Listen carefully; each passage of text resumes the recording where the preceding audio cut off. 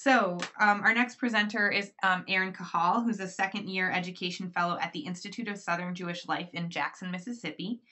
As an education fellow, Erin travels to seven different Southern congregations three times a year in order to help implement the ISJL religious school curriculum, as well as lead programs for religious school students, teachers, and the larger community. She grew up in Augusta, Georgia, and is very fond of the Jewish community in her hometown. Erin received her bachelor's degree in both history and social studies from the University of Georgia in May 2011 and has grown both professionally and personally uh, through her student teaching and thesis research on Southern Jewish women and the civil rights movement. So, um, Erin has the opportunity to work with several different congregations and use this material in, in a variety of ways. And she's going to share with us a little bit more about that work now. So, Erin, you can unmute yourself and take it away.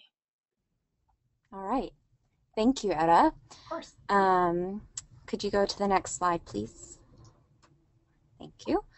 Um, so I just want to preface um, my presentation by saying that I have a very unique setup where um, I'm not designing a course um, devoted to a choice relating to American Jewish women of my choice, but um, it's more um, me, um, you know, advocating for the materials of the JWA and um, getting my communities excited about the different resources that the JWA has to offer.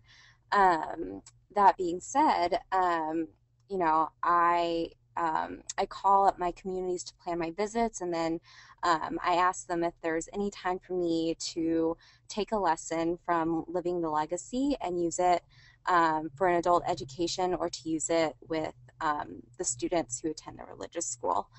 Um, so um, this setup presents a few challenges. Um, some of them are that I can't predict sometimes who's going to be there. Um, since I visit three times a year, I'm not as familiar with the students or adults I'm going to be teaching. And the congregations all have different needs. But I go into these communities feeling confident that the lessons are exciting and relevant and are going to engage the audience that I'm going to have. Um, so I just wanted to explain that before we move on. Next slide. Okay, so the first time I got to use Living the Legacy this year was in Brownsville, Texas with um, Temple Beth El. Um, so this was interesting because um, they have a Torah study um, Saturday morning after services, and um, the education director for the community asked me if I would like to um, lead an adult ed of my choice during that time period. Um, and this was pretty cool because they're a new community this year. so I decided to take Unit 1, Lesson 1 from Jews in the Civil Rights Movement, which focuses on identity. Um, so it includes an introduction talking about the different ways that we define identity and um, what factors in our environment shape um, the way we view our identity. Um, so the group on average was about 75 um, and up. Um, so that was interesting too because, you know, the materials are intended for um, high schoolers and high schoolers are still grappling with their identity. And so you know a, a lot of these questions you know this age group is like you know i, I figured this out by now you know um, you know I, this this question doesn't necessarily apply to my age group but the the documents and the materials gave them a great um, you know, springboard for them to discuss how growing up in Texas shaped their identity, gave them time to reminisce about what it was like to be younger. Um, I thought this was a really cool quote um, to share with you all um, that I put in my slide is that one person mentioned that um, growing up in Texas, they were wearing their Judaism on the inside. Um, so I thought that was very neat, and especially um, in Brownsville, Texas it's very um, um, much Hispanic um, in terms of population. Um, so there's that challenge, and then also being Jewish. Okay, so the second time this year, I was in um, Williamsburg, Virginia, um, and the synagogue there is called Temple Beth El. And so this was also a unique setup too because the rabbi and the educator there asked me if I wanted to um, help lead programs for their lock-in with um, their seventh through ninth graders. Um, so we were talking about different themes that we wanted to take with it, and I decided that we should do a social justice lock-in. Um, so I told them about um, the Temple Board debate, um, which is also part of Jews in the Civil Rights Movement. And um, the kids just loved it. Um, and this is interesting too, because it's a different age group than expected, but you know, the kids are very, very mature and very bright. so they they really liked it. They got into their roles and um, sorry, Erin, I'm just it was it was great.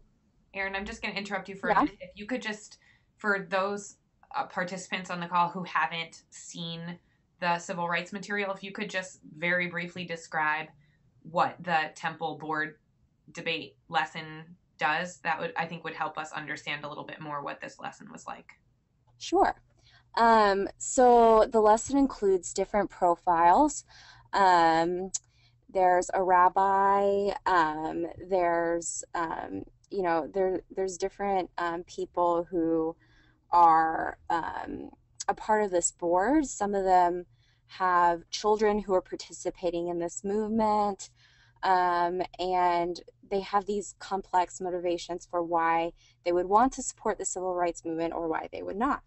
Um, so you get to read about the lives of these characters. The students are assigned these different profiles, um, and from there they engage in in a debate and discussion. Um, and it's it's very well laid out. Um, it gives you the order um, for um, leading the debate um, and how to hold the meeting, and gives the students opportunity to um, raise cons and, and um, pros for for either side. Um, and so, yeah, the, it, it's very good, um, well thought out activity. Um, and by the end of the activity, the, the students um, ultimately ruled against the civil rights movement.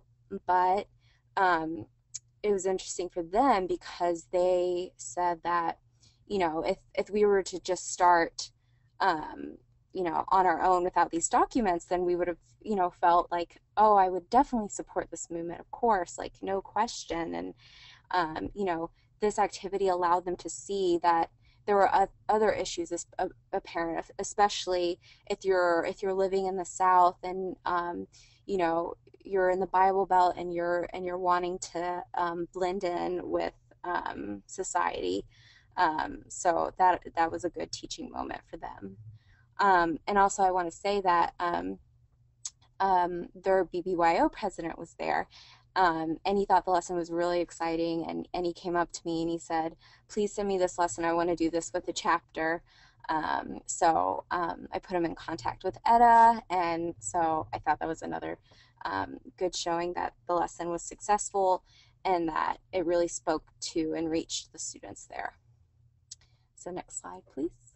Okay, so I haven't taught my lesson for um, my third requirement of the year yet, but um, I work with eight other um, fellows in the ISJL office, and we're having a Shavua learning session together. And I am going to select one of the Living the Legacy lessons to teach them. Um, I'm thinking community organizing.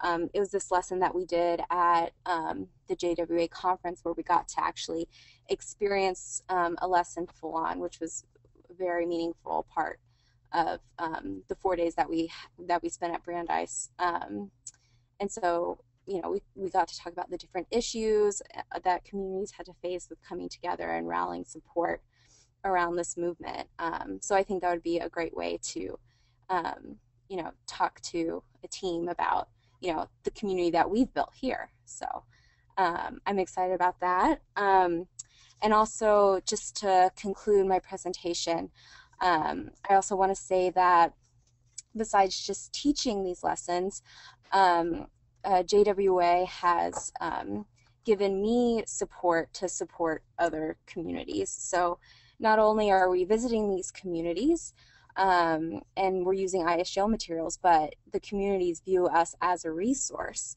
So when you are connected to other resources and and you can advocate for them, you can tell um, other education directors about them. Um, you know, it really benefits them, and um, there are different instances and ways that we went about that. We have weekly emails that we send out and newsletter articles. Um, and if there's anything concerning women, um, the JWA is mentioned a lot. Um, one fellow wrote um, a Jews in the Civil Rights Movement program relating to music using um, the Go and Learn materials about civil rights and Jews in music. Um, also, last year I wrote a Black History program um, using the materials from the JWA, um, putting the Temple Board debate in that as well. Um, so that's something that is is sent out to these communities. Um, and what's also really cool is that um, learning about the civil rights movement and and and how Jewish women participate in this movement is especially meaningful here, and for the work that we do, because um, a lot of these communities um, that we travel to um, were impacted by it. For instance, Little Rock, Arkansas, where Central High School is located. Um, so, you know, it was another way for me to to connect to the communities I served, and I'm um, forever grateful to the JWA for that.